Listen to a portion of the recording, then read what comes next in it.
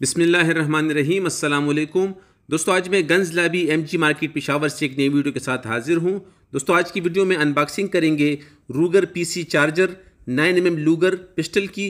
दोस्तों, ये made in USA की कंपनी है। रूगर आप जानते हैं, बहुत मशहूर कंपनी है। ये उसकी बनाई हुए पीसी चार्जर है। नाइन एम एम कैलिबर से ताल्लुक़ रखती है और ये सेमी ऑटोमेटिक पिस्टल है। आप देख सकते हैं इसके साथ इसकी कंपनी से ये बुकलेट मिलता है यूज़र मैनुअल इसमें इस पिस्टल के मतलब तमाम मालूम दर्ज की गई हैं। तो ये रूगर कंपनी की बहुत ज़बरदस्त पिस्टल है, नाइन एम एम कैलिबर में है। और ये मैं आपको आज दिखाता हूँ, आज की वीडियो में। तो इसको निकाल लेते हैं डब्बे से। तो दोस्तों, इसके साथ, इसके बॉक्स में क्या क्या आता है, सबसे पहले आपको बताता हूँ। इसके साथ एक अदद मैगज़ीन मिलेगा आपको, इजाफ़ी, जो कि सत्रह राउंड मैगज़ीन कैपेसिटी पर मुश्तमिल है। और ये रूगर कंपनी का अपना बनाया हुआ मैगज़ीन है। और, सत्रह राउंड इसमें आएँगे नाइन एम के। बहुत खूबसूरत डबल स्टैक मैगज़ीन है, और स्टील पत्ती का बना हुआ है, और फॉलोवर आप देख सकते हैं रेड फॉलोवर के साथ आती है, और नीचे बेस प्लेट जो इसका है, ये पॉलीमर का है। तो ये एक मैगज़ीन इजाफी आती है, एक पिस्टल में लगी हुई है, ये मैं आपको दिखाता हूँ बाद में। इसके अलावा इसके साथ इसके डब्बे में दो अदद एलकीज़ आती हैं, जो इसको खोलने वगैरह के काम आएँगी, और एक अदद इजाफी मैगवेल आप देख सकते हैं, इसके साथ कंपनी से आता है।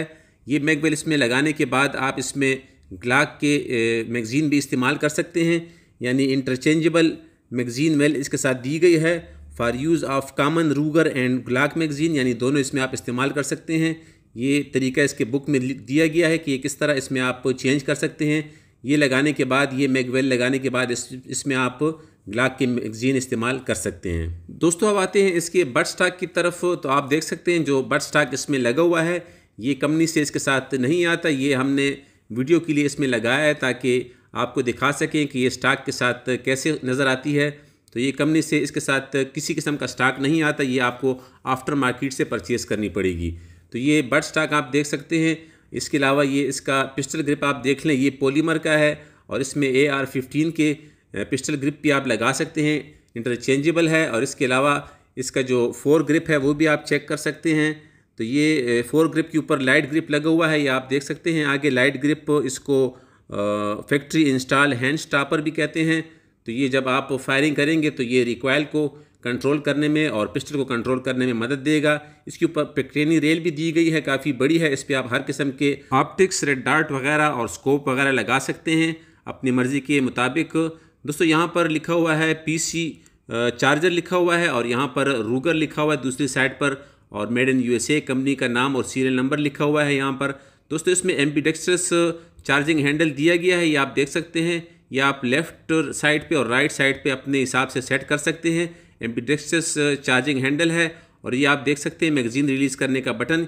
ये इसका दूसरा मैगज़ीन है जो कि 17 राउंड पर मुश्तमिल है और अगर इसमें आप मैगवेल लगा लेते हैं, जो दूसरा इसके साथ दिया गया है तो ये फिर आप इसमें ग्लाक की मैगज़ीन भी इस्तेमाल कर सकते हैं। थर्टी राउंड वाली मैगज़ीन और ड्रम ड्रम मैगज़ीन भी आप इसमें यूज़ कर सकते हैं। तो दोस्तों, सामने से इसकी बैरल देख लें। साढ़े छः इंच की बैरल है, जो कि cold hammer forge chrome lined barrel है और ये थ्रेडेड बैरल है, यानी इसके आगे आप मज़ल ब्रेक या फ्लैश हाइडर भी लगा सकते हैं।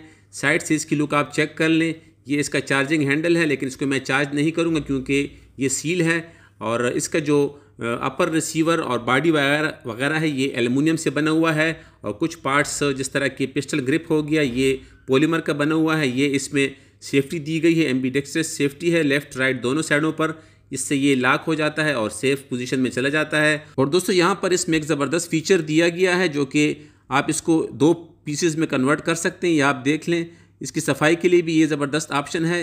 ये साढ़े छः इंच की बैरल आपके सामने आ गई और इसको आप सफ़ाई के लिए भी खोल सकते हैं आसानी से और कैरी करने के लिए, अपने साथ बैग वगैरह में रखने के लिए ये दो पीसेस में कन्वर्ट हो जाती है, जो कि बहुत ज़बरदस्त ऑप्शन है और इसको फिट करना ये बहुत आसान है और सफ़ाई भी इसकी काफ़ी आसान हो जाती है। और दोस्तों, इसके ऊपर ब्लैक ऑक्साइड या ब्लैक एनोडाइज कहते हैं, इसको कोटेड हुई हुई है, जिसको किसी किस्म का स्क्रैच वगैरह नहीं आता और ना इसका कलर उतरता है। तो ये black oxide black anodize colour कहते हैं इसको। तो ये बहुत ही खूबसूरत पिस्टल है जो कि आप नाइन एम के लाइसेंस पर अपनी सेफ्टी के लिए, होम सेफ्टी के लिए रख सकते हैं। तो ये पिस्टल के मुकाबले में कैरी करने के लिए, गाड़ी वगैरह में अपने साथ रखने के लिए बहुत ही ज़बरदस्त ऑप्शन है।